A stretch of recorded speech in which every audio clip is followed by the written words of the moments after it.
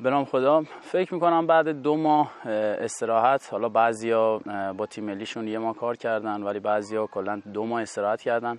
بعد دو ماه استراحت فکر می‌کنم اردوی خوبی رو اینجا استارت زدیم و اینکه فکر می‌کنم منطقهش هم خیلی خوبه. جای خیلی خوب و زیباییه واسه تمرین کردن و واسه استارت بدنسازی اول فصل. خیلی خوبه. و تمرین خیلی خوبی پشت سر گذاشتیم. حالا چیزایی که مربیا حالا تو تمرین چه تو زمین چه بیرون زمین واسه چه تو بدنسازی به حال واسه استارت فصل چیز کردن به ما گفتن و فکر می‌کنم به خوبی انجام دادیم. امیدوارم که به همینجوری ادامه بدیم و یه جورایی از این منطقه زیبا و خوب بتونیم به نفع احسن استفاده کنیم و اول فصل خوبی استارت بزنیم. اینجایی که اومدیم فکر می‌کنم الصد واسه ششمین سال متوالیه که اینجا میاد و فکر می‌کنم نتیجه هم گرفته.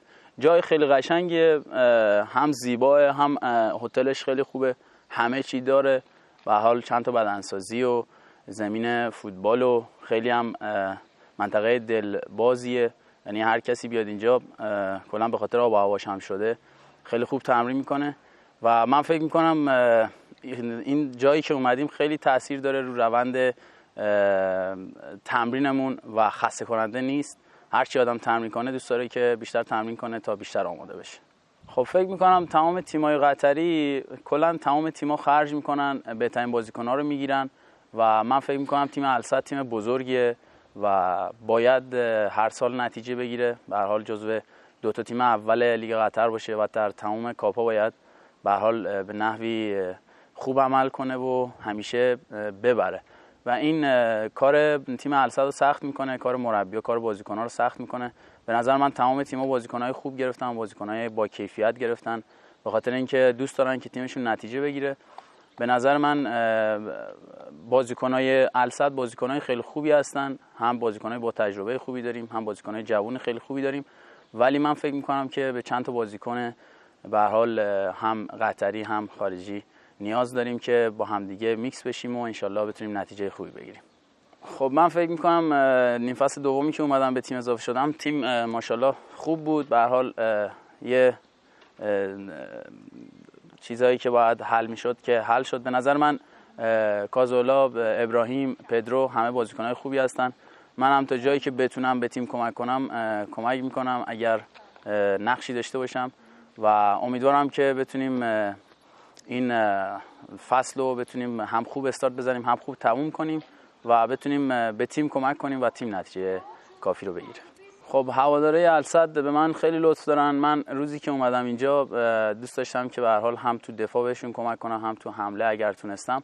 و سعی می‌کنم اول تو دفاع خیلی خوب عمل کنم. حالا تو جلو هم اگر تونستم نقشی داشته باشم واسه گل زدن حتما همچین کاری می‌کنم. امیدوارم که با تلاشی که حالا همه تیم می‌کنن و خودم واسه تیم زحمت می‌کشن و همه تیم واسه تیم زحمت می‌کشن امیدوارم که دست به دست هم بدیم و و این کاری که حالا گل زدن هست یا حالا دفاع کردن هست هر کسی واسه تیم خوب انجام بده و منم بتونم هم گل بزنم هم خوب دفاع کنم. انشالله که ادامه دار باشه. به نظر من اولین بازی بازی خیلی سختی می‌تونه باشه به خاطر اینکه تیم‌ها هم دیگه رو نمی‌شناسن و تو ایران هم هست. من فکر می‌کنم بازی خیلی راحتی واسه نه ایران هست نه قطر. و هر دو تیم باید زحمت بکشن که هر کس بیشتر زحمت کشید و با تمرکز بالا به بازی یعنی تو بازی انجام تمرکز بالایی رو بازی داشته باشه می‌تونه برنده این بازی باشه. امیدوارم که یه جورایی بازی خیلی خوبی در بیاد. خب روز اولی که داشتم میومدم السد به نظر من تیم السد تیم بزرگی تو آسیاست نه تو قطر فقط من فکر می‌کنم تو آسیا تیم بزرگیه به خاطر اینکه دو بار قهرمانی جام آسیا داره و اینکه تو لیگ قطر هم منز کافی و تو قطر کاپ و امیر کاپ هم جام زیاد داره. و من فکر می‌کنم یه جورایی من آرزوم که قهرمانی تو هر تیمی که هستم ولی خب دوست دارم که با تیم الصدم یه جورایی در آینده بتونم کاپای زیادی برم و بتونیم جام قهرمانی آسیا رو انشالله بالای سر ببریم.